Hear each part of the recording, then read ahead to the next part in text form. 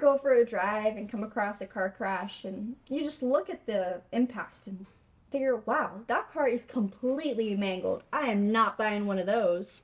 Man, they just don't make them like they used to. And that's for good reason.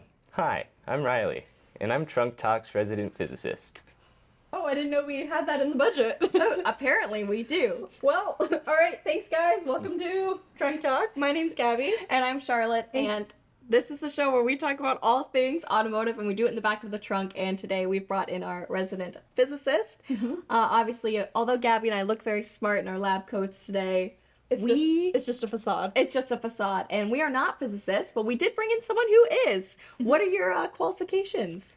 Uh, I went to McMaster University and I got an undergraduate degree in physics and a minor in mathematics. Yeah, I took a grade 11 physics course, so. I dropped out.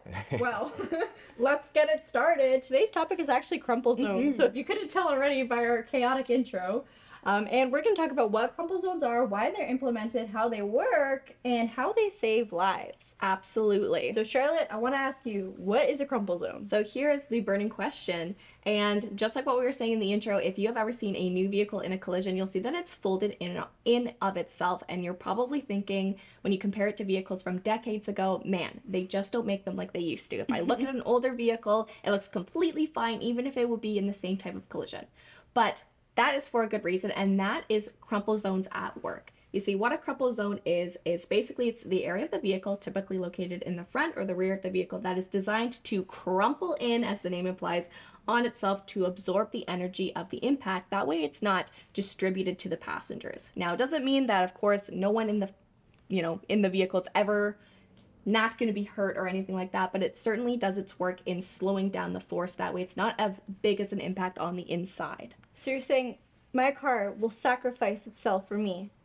Absolutely. Would you rather have a mangled car or a mangled person?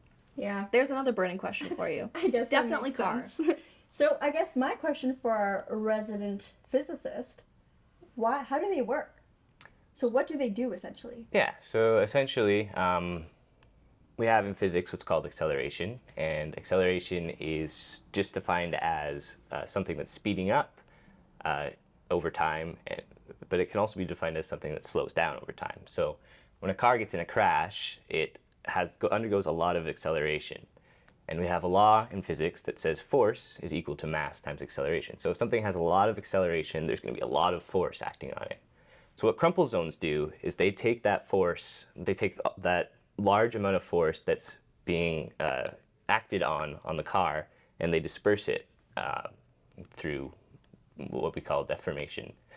So the vehicle deforms itself? The vehicle deforms itself. Yeah, it takes purpose. all the kinetic energy that it had, and it spreads it out. It deforms the car through deformation energy. and slows down everything else and keeps Exactly. the passengers inside safe. Yeah. But I will say, crumple zones aren't the only safety mechanism that automakers use to keep their cars safe. So crumple zones do a great job as minimizing the impact inside the cabin, but there's still the question that remains: what happens to the people in the cabin?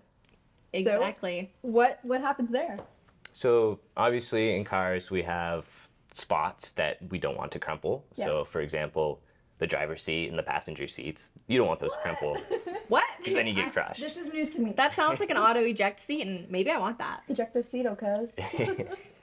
So yeah, we're, those won't get crumpled because we want to keep those safe. Um, other things that can't be crumpled are the engine, uh, the batteries. Wait, so my big block aluminum engine Yeah, is not gonna crumple. it's not going to crumple, unfortunately. Mm, That's news to me.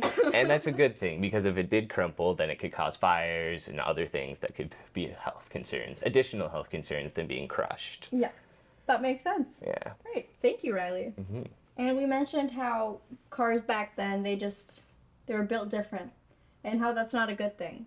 So old cars did not have crumple zones. Mhm. It was only something that happened about in the 1960s. The first vehicle to ever introduce crumple zones was a 1959 Mercedes Benz. So I feel like Mercedes has come up a couple times in this podcast, Yeah. and usually it's because they're starting something. Like we've had Bertha Benz, first auto theft, Yeah, Yeah. first road test, first road test. first test drive, first everything. That's pretty cool. Yeah, All right, props to Benz. Good job. good job. Keep it up. All right. Question for the physicist. Mhm. Other than crumple zones, which we are now very, very familiar with. What else do manufacturers do to overall keep the passengers safe?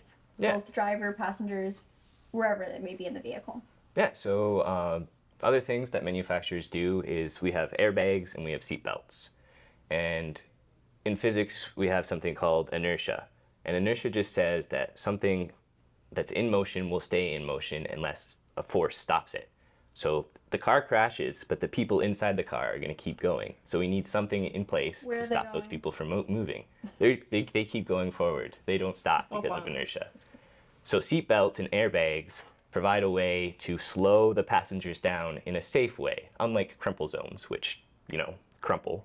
We don't want that to happen to people. So that's why we use airbags, which are able to slow you down in a safe manner.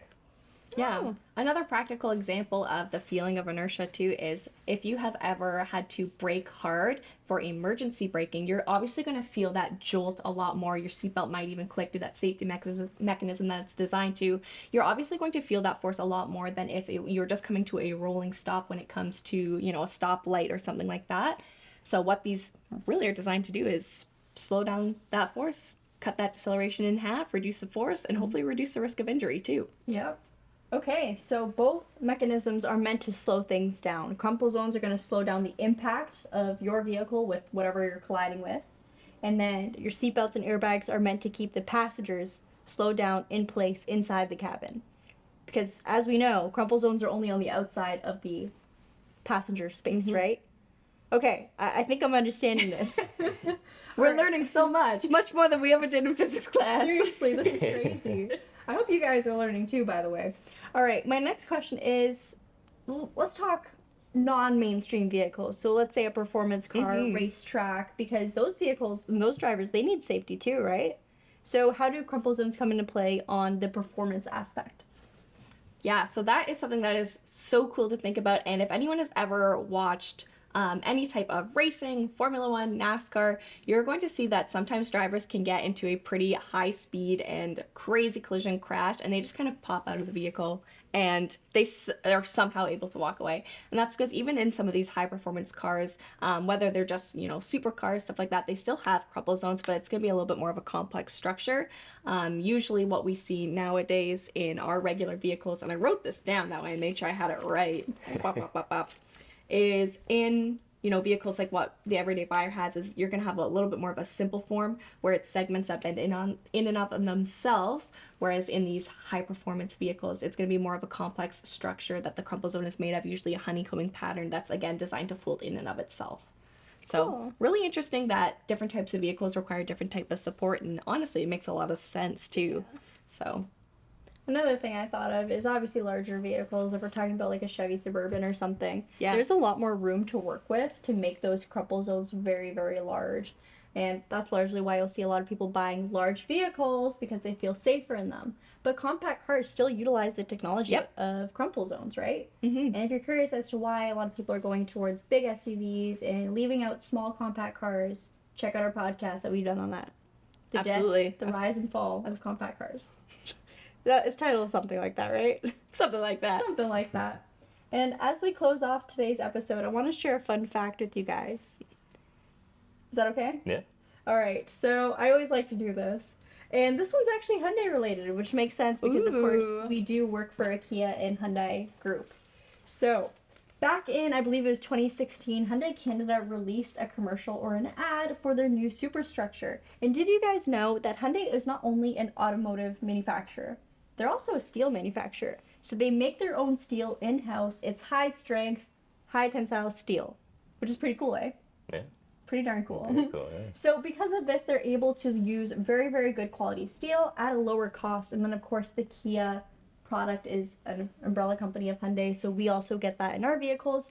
Essentially, starting off with the Elantra, they introduced something called a superstructure, and that was the frame of the vehicle. So it's high density steel, lightweight too, so great fuel efficiency. So you would think, huh, lightweight steel, whatever. So this frame weighed just about 650 pounds. Do you know how much it could hold? How much it could carry? How much? hmm How much?